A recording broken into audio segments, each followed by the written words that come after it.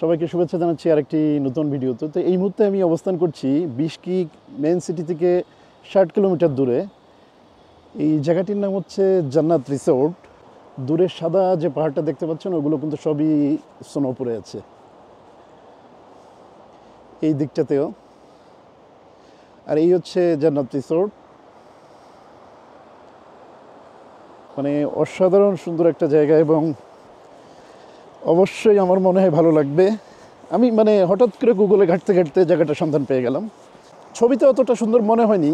বাস্তবে এখন আসার পরে যে সৌন্দর্য আসলো, কি বলব? তুলনা নেই।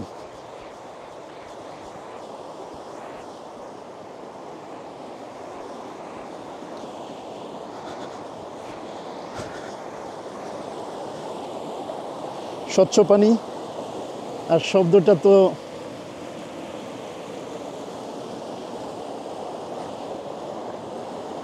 তবে আমার কাছে গত চার দিনে এই মনে হচ্ছে একটা জায়গায় আসলাম এবং আমার মানে এই কিরগিস্তানে আসা মনে হচ্ছে এখন সফল হয়েছে এই জায়গাটা আসার পরে।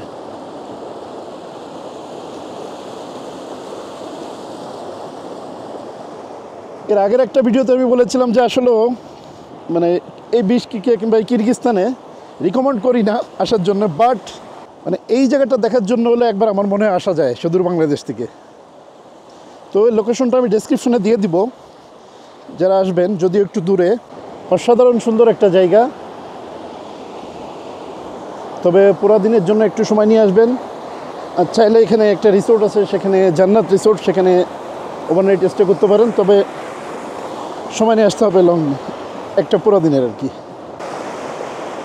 দেখুন দুই দিকে পাহাড়, আর মাঝখান দিয়ে ঠিক এই ধরনের এই যে পানি চলে গেছে, উপত্যকা আর কি যেটাকে বলা হয়।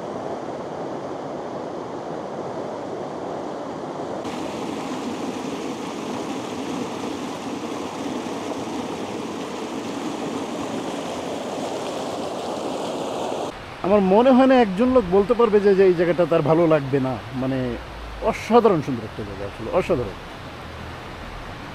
তবে এখানে থাকার ব্যবস্থা বলতে এই জান্নাত রিসোর্টটাই, এছাড়া কিন্তু আর কি মানে তিরিশ চল্লিশ কিলোমিটারের মধ্যে তেমন কোনো বাড়িঘরই নজরে আসবে না। এই জায়গাটির অবস্থান আসলে বিশকিক সিটি থেকে ষাট কিলোমিটার দূরে, তো আপনি ডে লং ট্রিপ করতে পারেন, সকালে আসলে সন্ধ্যার আগে চলে যেতে পারেন। চাইলে আপনি ওই পাহাড়ে উঠতে পারেন মানে পাহাড় হাইকিং করতে পারেন।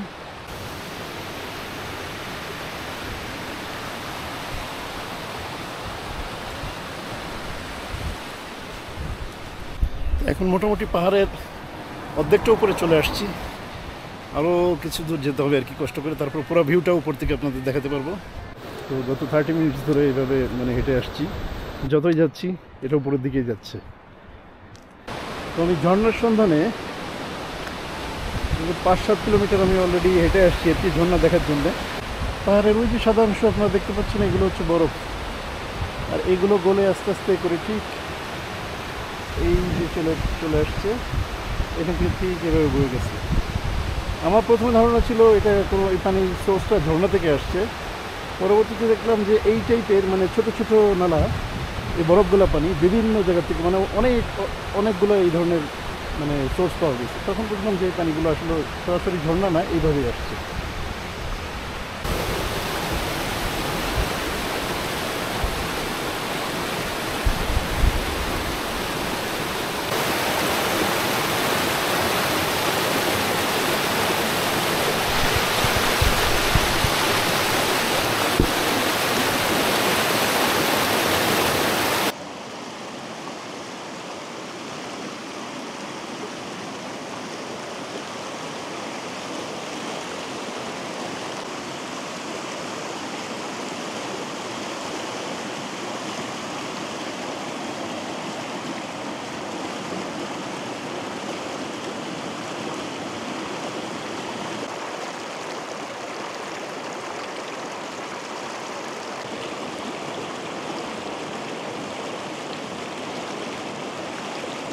তো আজকের মতো এখানেই বিদায় নিচ্ছি।